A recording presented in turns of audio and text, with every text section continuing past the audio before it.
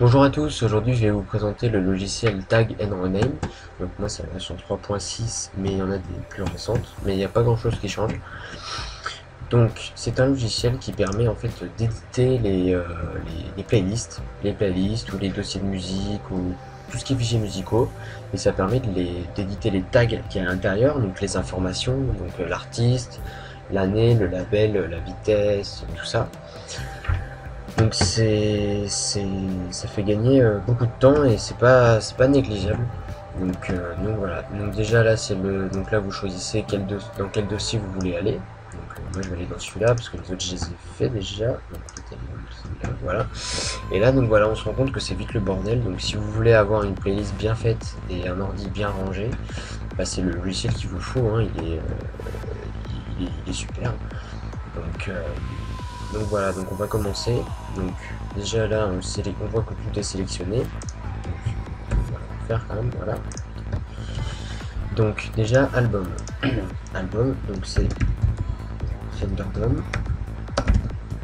Volume 12. Hop là. Donc ça c'est fait.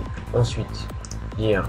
Bon, l'album est sorti en 1996, donc toutes les musiques seront de 1996 ou avant. Donc moi quand c'est comme ça, je mets ce petit signe, qui je ne sais, je, enfin ce petit signe, ce petit accent plutôt. Enfin je sais pas si c'est un accent en France, je sais pas. Donc voilà, et je marque 1996 devant, voilà. Ensuite le genre, bah, c'est de la techno. Comment, j'en veux pas. Et, et case, bah voilà, donc ça en fait c'est pour enlever euh, toutes ces, majuscules que les américains mettent à chaque mot, ça sert strictement à rien, c'est comme ça. Euh, donc, moi je les enlève, et là on fait euh, self tag, et pouf, il y a tout qui se met bien. Voilà, toutes les majuscules ont disparu, tout ça. Là donc faites attention parce que si votre euh, vous mettez une majuscule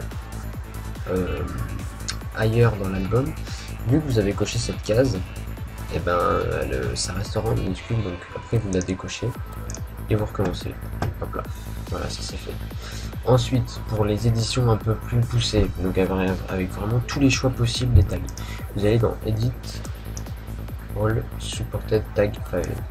Donc voilà, donc là, donc track je le fais pas parce que je vous montrerai tout à l'heure qu'est-ce qu'on peut faire, ce qu'on peut faire avec. Disque, alors 1 sur 2, donc ça, ça va modifier tout ce qu'il y a dans tout, d'accord? Donc euh, tout ce qu'il y a dans tout. J'espère qu'on s'est compris. Donc voilà, tout ça c'est déjà fait, machin. Donc voilà, là j'en avais besoin que pour ça. Ça y est Hop là. Et là. Ah oui, donc faut l'afficher d'abord. Comment, album, disque, voilà. Donc voilà, j'ai mis disque, sauf qu'il sait pas. Ah voilà, il est là. Et voilà, 1 sur 2. Donc voilà. Ensuite, donc on va les renommer une à une. Ah non. Avant, je voulais vous montrer autre chose, c'est pour les tracks. Alors, vérifiez que c'est dans l'ordre, vous sélectionnez tout, CTRL A. Tracks. Donc là, en fait, vous allez choisir euh, quel format vous voulez que les tracks soient, soient numéro. Donc là vous allez là, donc tout est sélectionné. Vous allez là. moi j'aime bien quand c'est comme ça. Voilà. Là c'est comme ça, donc voilà.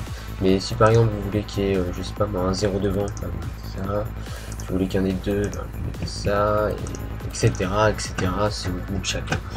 Donc voilà, donc déjà j'ai tout ça qui est renommé, donc ça m'a permis de renommer toutes les années, tout le genre, tout le tracks, tout l'album, et tout le numéro de CD. Donc ça, j'aurais dû le faire un à un normalement. Donc déjà là, euh, vous imaginez le temps qu'on gagne. Ensuite, bon, bah, il y a un truc qu'on peut pas enlever, euh, c'est que bon, euh, on a tous nos petits trucs. Moi, j'aime bien, j'aime bien mettre la première lettre en majuscule dans la parenthèse. C'est peut-être possible, hein, mais en toute édition, mais je sais pas encore le faire. Donc, donc voilà. Donc là, on vérifie tout. Moi, j'aime bien enlever tout ce qui est DJ devant. Voilà, parce que qu'il soit DJ ou pas, on s'en fiche. Hein. Juste euh, que la musique soit nommée et savoir de qui c'est. J'aime bien aussi quand il y a plusieurs artistes comme ça, mettre le, la première lettre de l'alphabet. Euh, alors B c'est avant le D, donc euh, je le mets avant. Parce que je pense que l'ordre n'a pas vraiment d'importance. Voilà.